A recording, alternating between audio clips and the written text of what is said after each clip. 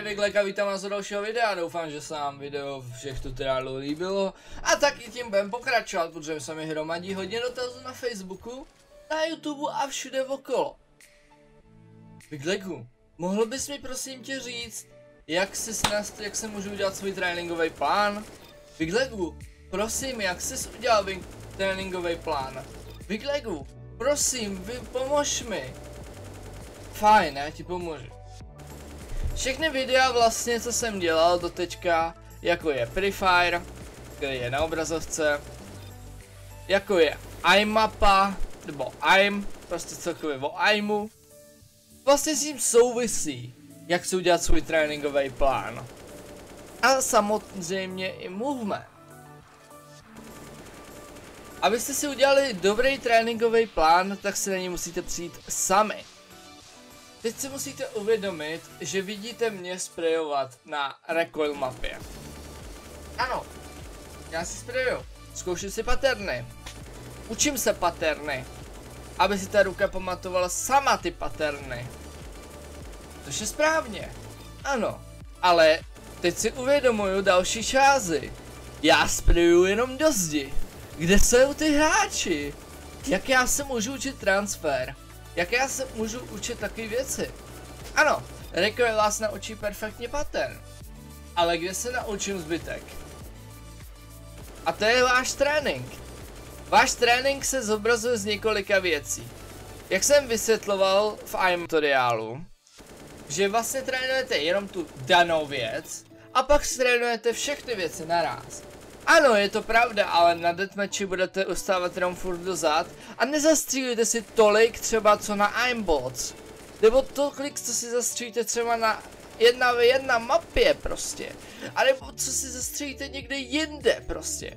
Vy si neumíte představit, že když budete hrát jenom kompety, tak na kompetu dostanete špatný flash, špatný smoke, zabijete přes smoke, nezabiješ nikoho, tím pádem jsi nezastřílel, tím pádem jsi nic nezatrénoval a prakticky trénink na deathmatchi je půlka hodin co na nějaký iMapě. To je ono. Ale v Wiglegu, když budu furt trénovat na botech, tak prostě se nemůžu zlepšit, ne? Ano, nemůžeš, protože si musíš ten trénink udělat podle sebe. Každému vyhovuje jiný trénink, každému vyhovuje něco jiného, každý má jinou ruku, každý má něco úplně jiného. A proto tohle mluvím o tom. Zároveň musíte umět si zjistit, jak dlouho na tom trénovat. Někomu prostě vyhovuje trénovat na spreje. Hodinu, dvě, tři, čtyři, pět. Někoho to baví hodně. Zjišťuje transferring, zjišťuje jak střílet. Ale zjišťuje, že zase na rozdíl zase zjistí, že umí jenom střílet do zdi. Ale neumí střílet prakticky. Prakticky je střílet do hráčů. A kde střílet do hráčů, Viglegu? Ano, jít na deathmatch. Ano, ale ty si teď před chvilkou říkal, že je to míň, když půjdu na aimbots. Ano, protože na aimbots střílíš non-stop, na aimbots střílíš hodně, na aimbots vystřílíš třeba 2000-5000 botů. Ale nenastřílíš tolik na na bot, na žádných jiných hrách, nebo na žádném jiném serveru. Protože na serverech budeš dostávat záda, flash, budeme mluvit i o kompetu, jo? Záda budeš dostávat na deathmatchi a budeš dostávat blbý movesety a budou tě zabíjet. A tím pádem si nezastřílíš proti praktickým hráčům pořádně. Tím pádem nebudeš mít takovou šanci. A to je právě špatný. Protože tím pádem budeš hrát jenom deathmatche, tak budeš hrát poloviční trénink. Doslova poloviční trénink. Ty potřebuješ jít na iBots, něco si tam nastřílet, prostě nastřílet si to, klik, co potřebuješ, asi si zjistíš, o kolik potřebuješ si nastřílet a to je přesně to, co se potřebuješ naučit. Zjistit si svůj vlastní trénink, zjistit si sebe, co bude bavit, zjistit si, co tobě bude vyhovovat a zjistit si, jak dlouho to máš dělat. A to, a teď se ptáš, ale Viglegu, jak já to mám zjistit? No to je jednoduchý. Hej, kdyby to byla jaká jiná, jakákoliv jiná hra, tak já bych řekl, nejde to jen tak jednoduše zjistit. Protože ta hra sama o sobě má workshop jako CSGO, tak je to vlastně taková tréninková kniha, ta hra. Všechno se dá naučit jedině přes čas. A nenaučíš se to za den, nenaučíš se to za týden, nenaučíš se to za měsíc, můžeš se to naučit třeba až za dva roky. Ano, musíš tomu dát dva roky a pak můžeš být pro gamer. Nebo můžeš být něco úplně výš, ale musíš dát té hře ten čas.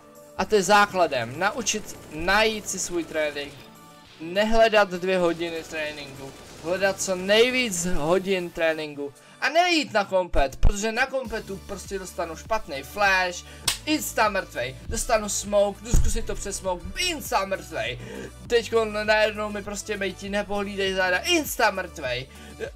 A prostě, kolik si nastřívíš na kompetu? Tak, otevřte si všechny vaše kompety, co jste hráli a najděte si, kolik jste nafragovali. A teď běžte na iBox. A kolik nafragujete? Teď běžte na netmatch, kolik nafragujete? Ale si to dejte všechno do, hra, do hlavy. Na kompetu dáte maximálně 25, 28 až 30, skoro možná 40 můžete dávat, ale to už bys to prostě dobré her, jenom dobrý hry, když počítám. A prostě zároveň musíte si říci, že kolik dáte na deathmatchi. 100, 200, na 90, až možná víc smrtí. Vy jste si dali 200 fragů. Já půjdu na iBots a dám si 10 tisíc mezi tím. Co je lepší? Co je pro vás lepší? Musíte to jít a zjistit. Ale zároveň si musíte říkat, na aimbotu nemám tu praktičnost. Na aimbotu zkouším ten aim, vystřílím si tam hodně. Vystřílím tam prostě několik set hodin, několik set hlav, několik set aimů. Prostě furt střílím, furt se učím ten aim, furt se učím tu praktičnost. Furt jdu na aimbot CSGO trénink a jdu střílet terčíky. Co trénuju? Paměť. Paměť ruky. Doslova trénujete paměť ruky. Jak flikujete na ty targety, trénujete si paměť ruky. Fliky je vlastně sval ve vaší ruce a to se všechno dělá automaticky. Vy potřebujete, aby se to dělalo automaticky. Automaticky se to naučí jedině tak, že to budete opakovat. Jako když jste psali v první, v první třídě, nebo zkoušeli psát v první třídě, taky jste furt něco dělali, furt jste kreslili, jste psali, chodíte do posilovny, protože chcete dopadat dobře. Ale co k tomu potřebujete? Trénink. A trénink je to, co vás dostane na profesionální úroveň. Ne na to, že si dám pilulku, píchnu si inekci, anebo dám týdenní hru a ty vole už jsem pro gamer. Ne. Ne, ne, ne. Prostě jdu, vyzkouším si to, zjistím, hej kurník, já musím dát dvě hodiny na aimbotu, pak musím mít hoďku na deathmatch, pak musím mít dva, dvě hodiny na spray, pak musím mít zase na dvě hoďky na deathmatch. Ale víte co? Teď si zjišťujete, já vůbec nehraju kompety. Ano, protože kompety jsou a budou jenom vo vašem aimu. O vašem, o vašem aimování. A zároveň si musíte uvědomit, že prostě vy chcete mít dobrý aim. Vy chcete hrát dobře. Vy nepotřebujete jít a brainit jenom furt. Vy potřebujete se dostat tu profi úroveň. Pokud se na ní chcete dostat, jednoduše zapomeňte na deathmatche a hrajte mapy. Hrajte deathmatche. Hrajte spray mapy. Hrajte 1v1. Hrajte arény. Hrajte prostě já nevím bunny hopy, surfy, hrajte cokoliv, co vás bude šlechtit, zlepšovat a sami zjistíte si, jak jste na tom. No a myslím, že to mám dosti dlouho. Ještě tady máme uh, záznam z mýho nějakého deathmatche starého ještě. Jsem nic nehledal novýho. A já jsem právě že chtěl vlastně mluvit o tom, že vlastně jenom na vás, jak vy si ten vlastně trénink složíte. Vidíte můj trénink, můj trénink starý, který už ani nefunguje, protože já pumpuji jiný trénink. A já se jenom loučím, doufám, že se vám video líbilo, doufám, že dáte like, odběr a sdílení. A zatím si užívejte outro, zatím. Čau!